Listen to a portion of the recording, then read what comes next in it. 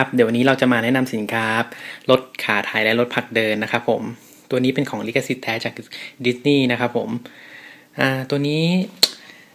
พูดได้ว่าเป็นรถเป็นถ้าเป็นแบบรถนะครับ ตัวนี้ดีที่สุดแล้วครับผมถ้าเป็นมอไซค์ต้องเป็นรุ่นอ่าเพสคูลที่เรามีขายอยู่นะครับ แต่ถ้าชอบเป็นแบบรถ แนะนำรุ่นนี้ครับเดี๋ยวเรามาดูฟังก์ชันการใช้งานนะครับ ตรงพวงมาลัยก็จะมีเสียงเพลงต่างๆมากมายนะครับ เดี๋ยวเราลองดูนะครับ นี่คือพวงมาลัย นี่ก็คือบิดไปก็คือสตาร์ทนี่ก็เป็นเสียงเพลง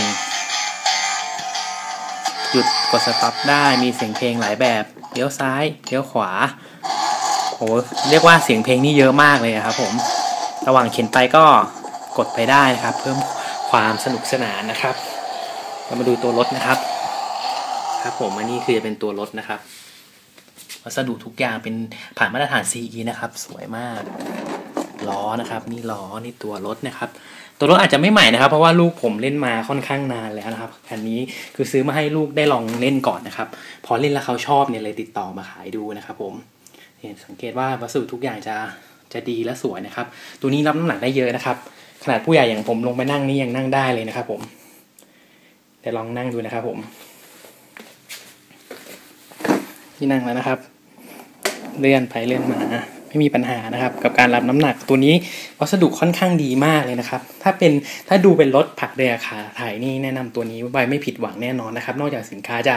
น่ารักแล้วเสียงเพลงมากมาย วัสดุที่ทำออกมานี่คือดีมากนะครับผมเวลาเข็นนะครับก็ให้ลูกจับตรงนี้นะครับ อันนี้คือ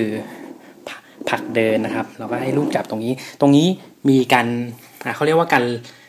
เวลาเด็กยกนะครับ จะมีตัวตัวรองไว้ตรงนี้ครับเป็นตัวกันหน้าคว่ำอะครับเวลาถ้าเกิดไม่มีตัวนี้เวลาเราดึงมาเลยเนี่ย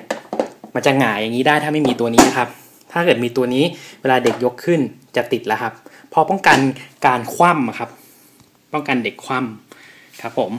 ถ้าไม่มีตัวนี้ก็คืออาจจะเวลาดึงแรงๆอาจจะหงายหลังได้นะครับ ผม โดยรวมนะครับสินค้าตัวนี้เป็นสินค้าที่เป็นรถ